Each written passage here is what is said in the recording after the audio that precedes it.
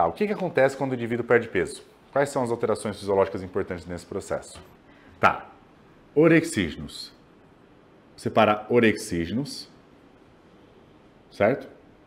Vou separar periférico e vou separar também em relação ao sistema nervoso central, periférico central, e vou separar também por crônico agudo, certo? Não é a melhor forma de tabela, mas vamos lá. Orexígenos, periférico, grelina, no qual ela se encaixa onde? No agudo, certo? Nervoso central, neuropeptídeo Y e AGRP, certo? Perfeito?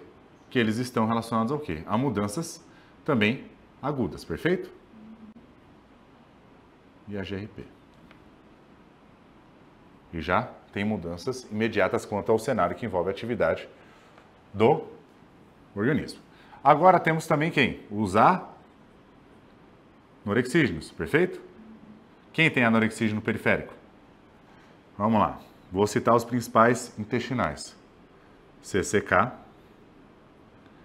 GLP1, peptídeo YY, certo? E por fim, não tão importante, mas, aliás, muito importante, mas não é tão conhecido, aliás, GIP. Peptídeo induzido por glicose, perfeito? Eles também são quem? Eles são agudos, certo?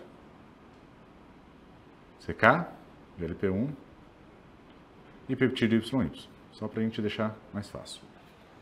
Qual que é periférico também? Leptina e insulina. Certo? E eles são agudo ou crônico? Crônico, né? Agora vocês vão me explicar qual que é a diferença de ser agudo e ser crônico. Enquanto aqui no seu nervo central tem, temos basicamente PONC e CART.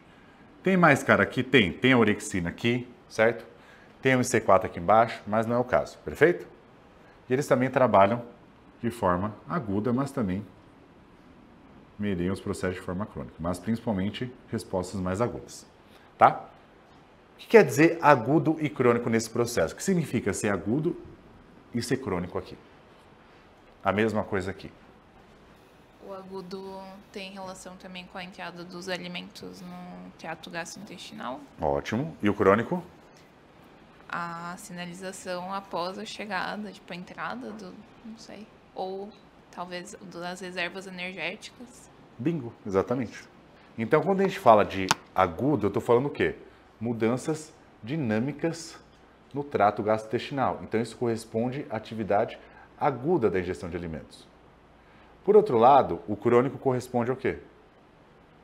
Nossas reservas energéticas, tecido adiposo, tecido muscular, ou massa livre de gordura, que esses trabalham com crônico.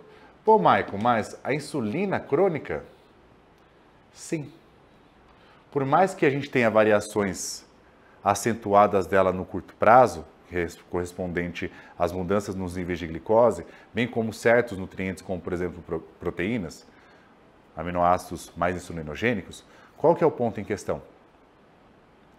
É que os efeitos da insulina no controle da ingestão de alimentos, eles são muito mais brandos e ele trabalha numa dinâmica que corresponde à sua sensibilidade periférica de acordo com o estoque energético, certo?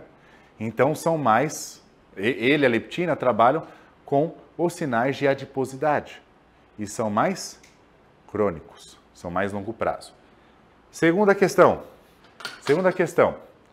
Qual que é o elemento que mais apresenta influência quanto ao processo de fome e saciedade? Agudo ou crônico? A insulina, a leptina ou os peptídeos gastrointestinais? Veja, variação energética, certo? Aqui eu tenho uma seta com muito maior espessura e aqui eu tenho uma seta com uma menor espessura. Aqui eu correspondo o quê? Uma variação energética ou um recipiente energético de menor proporção e esse aqui o de maior proporção. O que, que isso corresponde para vocês?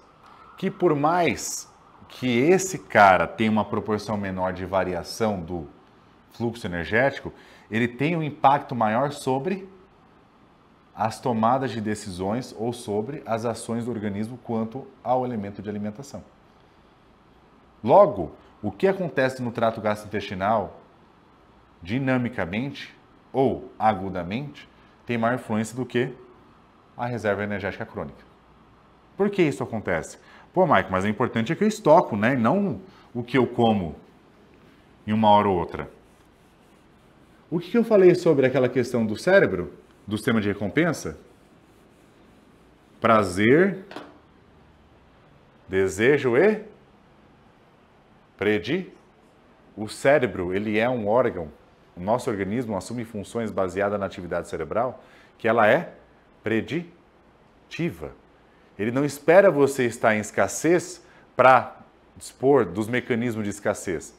Ele vai se antecipar ante a escassez. Certo? Isso é chamado de mecanismo alostático. O homeostático, ele corrige o desequilíbrio presente. O alostático e antecipa qualquer desequilíbrio que possa vir a acontecer. Isso é chamado de alostasia. Então, antes que possa alguma coisa vir a se desequilibrar, o que o nosso cérebro faz? Opa, vamos nos precaver. E por que ele vai se precaver? Porque em algum momento já houve esse desequilíbrio em alguma fase da sua vida. Ou diante da própria desenvoltura da fala, da comunicação, você já se antecipa. Não vê que a gente apresenta muitas nuances de ansiedade baseado naquilo que a gente pensa ou presume com a nossa fala, com a nossa comunicação? Aí eu tenho medo disso acontecer. Mas isso só tem uma função a partir daquilo que corresponde àquela fala. Aí eu tenho medo de meu relacionamento vir a falir. Por quê? Você já viveu um processo ou você presume com base naquilo que constitui a própria argumentação, a própria comunicação, a própria fala, o comportamento verbal. Então você antecipa a partir dessa vocalização. Só que nesse caso, o organismo trabalha também com medidas biológicas que correspondem ao fator filogenético. Qual que é esse fator filogenético? É o fator de predisposição genética ao ganho de peso. Então, quando o indivíduo começa a reduzir a sua ingestão calórica, antecipa-se os processos antes mesmo de haver uma mudança expressiva na reserva energética.